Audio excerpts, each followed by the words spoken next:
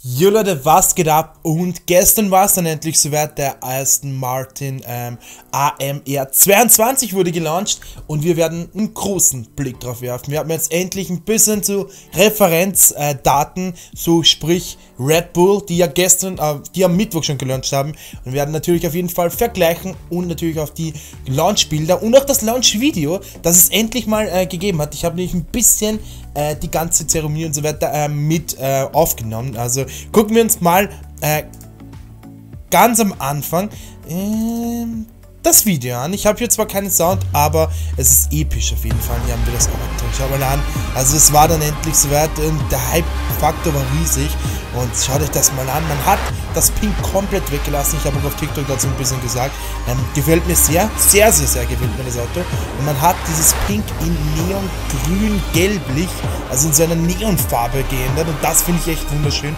Auch mit den Radkappen hat, man das ziemlich cool gemacht mit diesen weißen Strichen. Feiere ich auch auf jeden Fall. Und Aramco ist ein fetter Hauptsponsor. Man hat, ihn, man hat ihn auch in den Namen mit aufgenommen. Auch die Frontflügelpartie gefällt mir sehr gut. Und ja, viel mehr Aramco hinten gefällt mir nicht. Also, dass man hinten das komplette Aramco-Logo auf, auf der Hinterseite vom Heckflügel gelassen hat, naja, ist auf jeden Fall, ähm, ja, ihre Sache, aber trotzdem so vom, vom Ganzen her finde ich das cool. Man hat da viele Einblicke auch in diesem äh, Video gegeben, auch diese über die so weiter möchte ich nachher noch reden, aber äh, ich finde das Auto an sich ein, ein, ja, eine Glanzleistung. Es sieht wunderschön aus und es ist bis jetzt gefällt es mir echt sehr gut. Besser wie der Red Bull und auf jeden Fall besser wie der Haas, der so inoffiziell schon gelauncht hat. Und man heißt jetzt einfach ähm, Aston Martin äh, Aramco Coninianza Formula One Team. Also man hat eine sehr große Partnerschaft und hier kann man dann direkt das Auto in der Frontflügel äh, ja, Version sehen, so dieses Standard. Und man hat hier sogar noch auf dem Seitenteil einen kleinen Leitflügel drauf gegeben. Ob es was bringt, weiß ich nicht. Aber es sieht auf jeden Fall sehr schnittig aus. Und ja, wie findet ihr das Auto? Schreibt es unbedingt gerne in die Kommentare. Aber äh, so auch man auch vorne. Ähm, wir werden auf jeden Fall jetzt mal auf die ersten Bilder eingehen.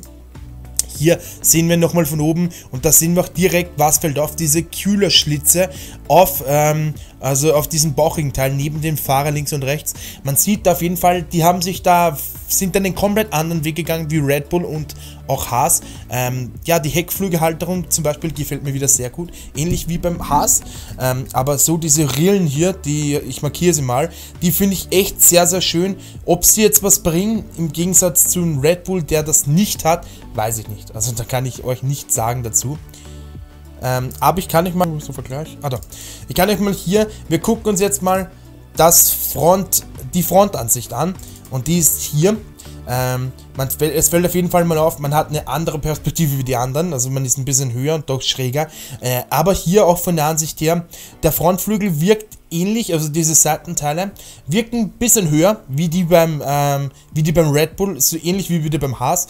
Aber wir gucken jetzt hier mal, wie gesagt, ähm, ich möchte einen direkten Vergleich und den habe ich halt nur hier in, ähm, in der Red Bull Version. Und wie gesagt, ähm, auf jeden Fall fällt auf, man hat den Kühler, den Motorkühler ein bisschen kleiner gehalten bei Aston Martin. Auch äh, der Heckflügel an sich sieht mir ein bisschen größer aus wie bei den anderen, also das sieht mir ein bisschen breiter aus. Trotzdem an sich her ist es natürlich so ziemlich ähnlich. Also man, man kann sagen, es ist sehr äh, ähnlich zum Haas, aus wie zum Red Bull, aber ähm, so auch von der Frontflügelpartie her. Äh, die, die Spitze, ja, das kann man natürlich nicht hundertprozentig hier äh, nachahnen, weil die Bilder natürlich jetzt, man hat noch nicht viel Bildmaterial, so äh, was die Teams so rausgelassen haben. Gerade Red Bull hält sich das sehr bedeckt und ja, das finde ich ziemlich cool.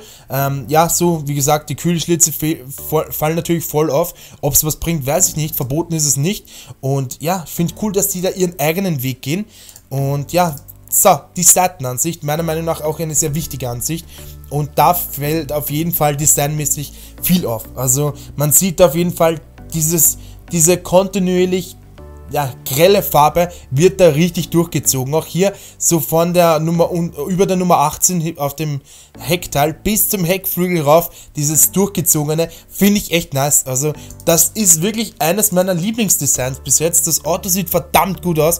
Man hat sich da was getraut. Auch dass die Radkappen rot sind, also dass mit den Radkappen nur die Striche sind, finde ich ziemlich cool. Ähnlich wie früher halt, wie früher diese äh, normalen Felgen waren. Aber natürlich auch dann äh, die roten ähm, äh, diese roten äh, Schraubmuttern finde ich auch cool und ich finde das Auto an sich wirklich, also ich glaube, man, man, merkt mir die Begeisterung auf jeden Fall an, auch hier von hinten. Die Heckansicht, wie gesagt, das Aramco-Logo fähre ich nicht so mit den Aramco-Farben, aber natürlich, es ist ein fetter Sponsor, es ist ein, ein Namensgeben, also ein Sponsor, der sogar den Namen mit vorgibt und deswegen denke ich mal, musste man da auch ein bisschen ja, zeigen. Man hat auch nicht viel Sponsoren, fällt mir auf, äh, fällt mir auf. Man hat Aramco natürlich, ähm, ähm, JCB hat man und auch natürlich dieses Kognatial oder wie das heißt. Und ja, sonst, ja, auch, okay, ja, vorne sind wieder ein paar drauf trotzdem. Also es ist auch sehr schlicht gehalten. Hier von oben, ja, da wollte man wahrscheinlich diese Kühlschlitze, ähm, ja, ein bisschen zeigen. Ich finde das ziemlich cool, was schlussendlich den Vorteil bringt bin mir nicht sicher, aber ich finde schon mal cool, dass man eigene Wege geht äh, bei manchen Teams. Also so, äh, nicht, dass jeder so das gleiche macht, sondern dass man da andere Sachen probiert und ja, wie gesagt, es sieht gut aus und ich bin echt gespannt. Ja, die Innenansicht, man, man sieht hier nicht viel. Fand auch cool, sie, manche machen so die Präsentation auf YouTube, manche so auf Instagram und so. Die haben ja eine Partnerschaft mit TikTok, sieht man auch hier im Fahrer, im Cockpit. Und deswegen finde ich das ziemlich cool, auch die Lenkradansicht ziemlich cool. Ähm, äh, die haben die Präsentation auf TikTok im Livestream gemacht, konnte man sich natürlich ziemlich einfach angucken. Und hier haben wir dann den direkten Vergleich mal von oben zu dem Modell vom letzten Jahr und natürlich, wie gesagt, da fällt ein riesen Unterschied mal auf. Man hat die kompletten, dieses pink-rötliche in ein wunderschön, echt geniales, äh, erinnere mich fast an Brown GP damals, aber es war eher grünlicher. Aber ja, hier in so ein gelbliches, ja, grün, ich weiß nicht genau, es ist so eine Neonfarbe, aber die sieht verdammt cool aus. Also ich finde das so nice.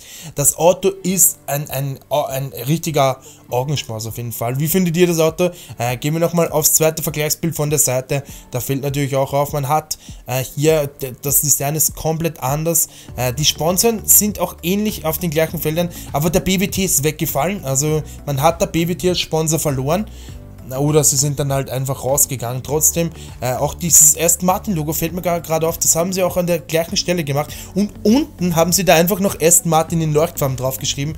Einfach klasse. Also mir gefällt das. Auch von der Farbe her, glaube ich, ist das ein anderer Farbton. Also das ist nicht die gleiche Farbe, glaube ich. Äh, trotzdem, also ein schönes Auto. Äh, und ja, wie findet ihr es? Formel 1 News noch am Rande. Daniel Ricciardo hat auf äh, Instagram seinen neuen Helm oder auch auf Twitter seinen neuen Helmdesign vorgestellt. Er hat ja dieses Spray-Muster und ja, jetzt hat er so lila-orange mal von oben und hier von der Seite so orange. Ja, passt natürlich auch zum Team mit blau und grün. Also es ist auf jeden Fall sehr außergewöhnlich. Ich feiere es, die auch die Nummer 3 drauf.